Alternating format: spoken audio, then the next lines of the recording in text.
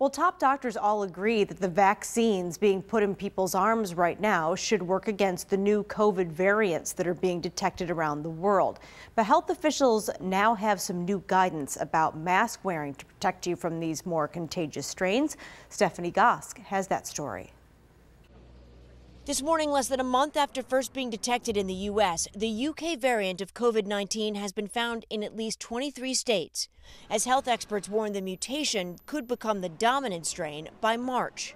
This strain has the potential to spread very quickly in this country. While researchers are working to determine if the variant has a higher death rate, it's clear the strain is much easier to transmit.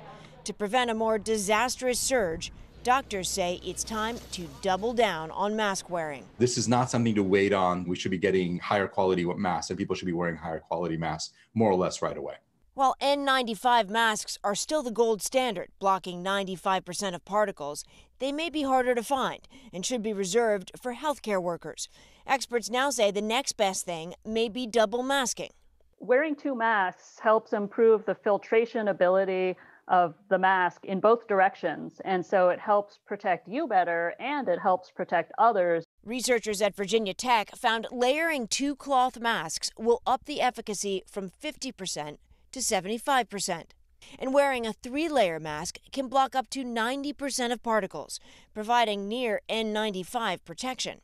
Ideal for so called high risk situations like traveling, going to the grocery store, or gathering with others. You want to wear your best possible mask, which includes multiple layers, ideally some kind of filter material, and a really good fit.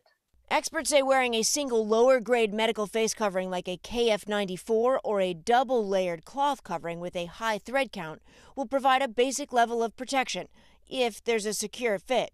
The bottom line more layers mean more protection, and those loose fitting or single layer coverings are just not enough. Stephanie Gosk, NBC News.